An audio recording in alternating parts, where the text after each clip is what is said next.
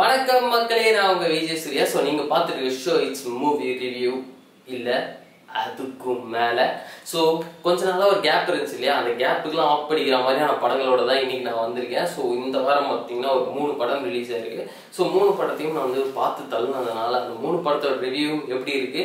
அந்த படத்துல இருந்து நீங்க எந்த படத்தை பார்க்கணும் அப்படிங்கறத நீங்களே முடிவு பண்ணிக்கங்க. ஸோ நான் மூணு படம் எப்படி இருக்குன்றதை மட்டும் சொல்லிடுறேன். அதில் நம்ம ஃபர்ஸ்ட் பார்க்க போற படம் பார்த்தீங்கன்னா வந்து ரசாவாதி ஸோ ரசவாதி வந்து பார்த்தீங்கன்னா ஒரு ஒரு பயங்கரமான ஒரு ஒரு லவ் ஸ்டோரி அப்படின்னே சொல்லலாம். ஏன்னா ஒரு ஒன்லைன் பார்த்தோம்னா அஹ், திடீர் நம்ம ஆசை காலத்தில் ஒரு படம் பார்த்துருக்கோம் இல்லையா? ஆசைன்னு அஜித் சார் நடித்து பிரகாஷ் ராஜ் வில்லனா பண்ணி ஒரு படம் வந்து வந்திருக்கும். அந்த படத்தை நம்ம வந்து பார்த்துருப்போம். அதில் வந்து வில்லனிசம் வந்து பயங்கரமாக இருக்கும். என்னதான் ஹீரோ நம்ம கொண்டாடுறதை விட்டுட்டு வில்லனை வந்து பயங்கரமாக கொண்டாடி இருப்போம் ஸோ அப்படிப்பட்ட ரைட்டிங்ஸ் தான் இந்த படம் வந்திருக்கு. ஸோ இது வந்து ஒரு காலேஜ் படிக்கும்போது ஒரு லவ் ஒன்று பண்ணுறான் அந்த லவ் வந்து ஃபெயிலியர் ஆயிடுது ஒரு சின்ன காரணத்தினால ஹீரோ வந்து ஜெயிலுக்கு போக வேண்டியதாக இருக்குது அதனால இந்த பொண்ணுக்கு வந்து வேற ஒரு கல்யாணம் பண்ணி வச்சிடுறாங்க. அதுக்கப்புறம் இந்த பொண்ணு என்னெல்லாம் கஷ்டப்படுது? இவன் ஜெயிலேருந்து வந்ததுக்கப்புறம் வந்ததுக்கு அப்புறம் ஒரு குற்றவாளிங்கிற பேரோட என்ன கஷ்டப்படுறான்? இவங்களுக்கு நடுவில் இந்த வில்லன் யாரு? ஆஹ் தனியா இன்னொரு ஹீரோயின் வராங்க. அவங்க யாரு? இவங்களுக்கும் இவங்களுக்கும் என்ன லைஃப்ல கனெக்ஷன் இருக்கு அப்படிங்கறதெல்லாம் சொல்லியிருக்க படம் தான் ரசாவாதி. படத்தோட ஒன்லைன் மாதிரியே படத்தோட கதையும் வந்து ரொம்ப ஸ்ட்ராங்காகவே பில்ட் பண்ணியிருக்காரு டேரக்டர் ஸோ ஆல்ரெடி டேரக்டர் பார்த்தீங்கன்னா மோனகுரு அதுக்கப்புறம் வந்து மகாமுனி போன்ற படங்களை எடுத்திருந்தார் இல்லையா? ஸோ அந்த படம் எல்லாமே யங்ஸ்டர்ஸ் மத்தியில் பயங்கரமாக கனெக்ட் ஆகும்.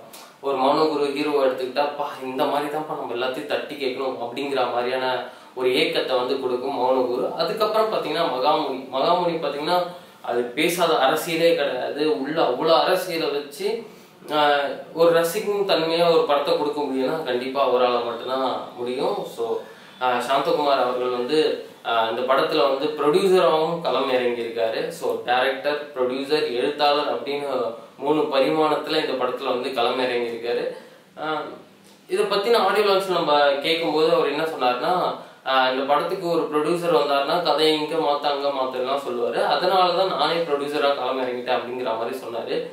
பட் அந்த அளவுக்கு இந்த படத்தில் வில்லனிசம் வந்து ஸ்ட்ராங்காக இருந்துச்சா கதை ஸ்ட்ராங்காக இருந்துச்சான்னு கேட்டால் கண்டிப்பாக கிடையாது.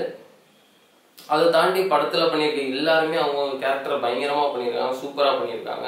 ஸோ படம் எங்கே வீக் ஆகுதுன்னு பார்த்தோம்னா ஃபர்ஸ்ட் ஆஃப் வந்து ரொம்ப ரொம்ப இல்லை கொஞ்சம் ஸ்லோ லேக் எல்லாமே இருக்கு.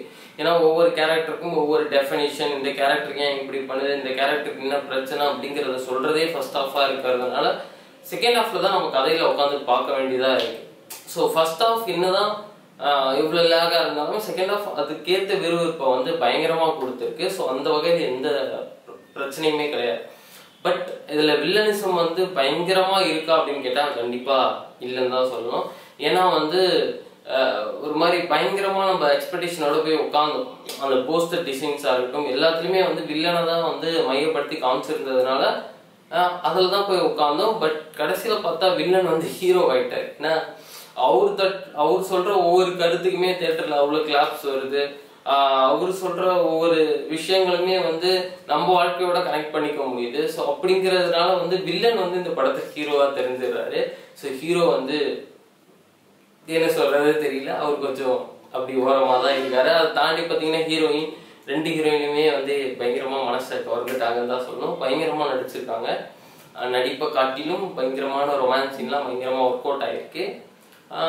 அதுக்கப்புறம் வந்து படத்தில் வந்து ஃப்ரெண்டு கேரக்டர் பண்ணியிருக்கவங்களா இருக்கட்டும் ஊர் மக்களாக இருக்கட்டும் ஸோ எல்லாருமே வந்து அவங்கவுங்க கேரக்டரைசேஷன் வந்து அப்படி தத்ரூபமாக வந்து கண்ணு முன்னாடி வந்து ஜொலிச்சுட்டு போயிட்டாங்க அப்படின்னு தான் சொல்லணும். அப்புறம் படத்தோட மியூசிக் தமன் அடிச்சு பிரிச்சு மேஞ்சிருக்காரு. ஏன்னா அவருக்கே தெரியும் அவர் ஒரு மாதிரி வெஸ்டர்ன் ஃபியூஷன் கிளாசிக் ஃபியூஷன் அப்படின்னா வந்து ஒரு மாதிரி எல்லாத்தையும் கலந்து பயங்கரமா கொடுத்துருவாப்புல அப்படிதான் வந்து இந்த படத்துலயும் வந்து ஆர்ஆர் வந்து பயங்கரமா பேசப்பட்டு ஏன்னா வந்து ஒ- ஒரு ஒரு ஒரு வில்லனை காட்டும் போது அதுக்கு இருக்க ஒரு ஆர்ஆர் அதுக்கப்புறம் ஒரு எலி சீன் ஒன்று இருக்கும்.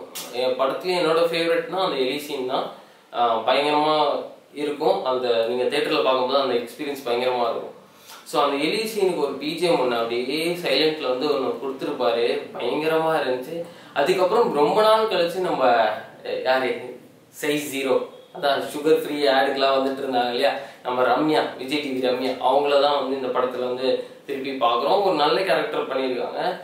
அவங்க வர சீனுக்கு எல்லாருக்குமே பயங்கரமான கிளாப்ஸ் ஏன்னா வந்து இது ஒரு இது ஒரு ரோலா தாண்டி இது வந்து இது படத்தோட ஒரு கருவாவே அங்கங்க அமைஞ்சிருக்கிறதுனால அந்த சீனுக்கெல்லாம் பயங்கரமா கிளாப்ஸ் இந்த ரமேஷ் சுரேஷ் காமெடி வந்து என்னதான் கொஞ்ச நாளைக்கு முன்னாடி பயங்கரமா அப்படியே பேசப்பட்டு இருந்தாலும் இப்ப திருப்பி இந்த ரமேஷ் சுரேஷ் காமெடியை வந்து பயங்கரமாக பயங்கரமா பேசுவாங்க அப்படிங்கிறது வந்து இந்த படம் பார்த்ததுக்கு அப்புறம் வந்து தெரிய வருது. ஸோ பொதுவா பாத்தீங்கன்னா வந்து இவரோட படத்துல வந்து காமெடிகள் வந்து ரொம்ப கம்மியா தான் இருக்கும். கதைக்கு தான் வந்து மெயின் இம்பார்ட்டன்ஸ் தருவாரு. அதே தான் இந்த படத்துலயும் காமெடிங்கிறது சுத்தமா கிடையாது. அதை தாண்டி கதை கொஞ்சம் இருக்கு. ஆக்ஷன்ஸ் பயங்கரமா இருக்கு. ஆக்ஷன்ஸ் எல்லாமே சூப்பரா ஒர்க் அவுட் பண்ணிருக்காரு.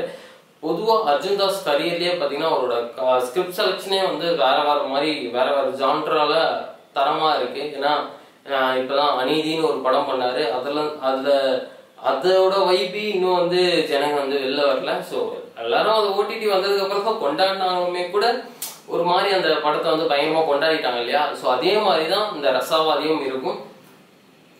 ரசவாதியில நீங்க கொண்டாட நிறைய விஷயங்கள் இருக்கு. நீங்க கொண்டாடாமல் போகவும் நிறைய விஷயம் இருக்கு. ஸோ இது ஒரு சின்ன படம் சின்ன படம் சொல்லி சொல்லி இது சின்ன படம் ஆக்கிட்டாங்கன்னு நினைக்கிறேன். பட் படமா பார்க்கும்போது இது ஒரு பயங்கரமான பெரிய படமா தான் இருக்கு. ஸோ நீங்க தேட்டர்ல போய் பார்த்துட்டு இந்த படம் எப்படி இருக்கு எப்படி இல்லை அப்படிங்கறதெல்லாம் வந்து கமெண்ட் செக்ஷன்ல வந்து கமெண்ட் பண்ணுங்க. அது வரைக்கும் நான் வெயிட் பண்றேன். ஸோ என்ன பொறுத்த வரைக்கும் ரசவாதி ஒரு பயங்கரமான ஒரு வில்லனிசம் கொண்ட ஒரு ஹீரோ படம். ஸோ பாருங்க பயங்கரமா இருக்கு. கட் பண்ணி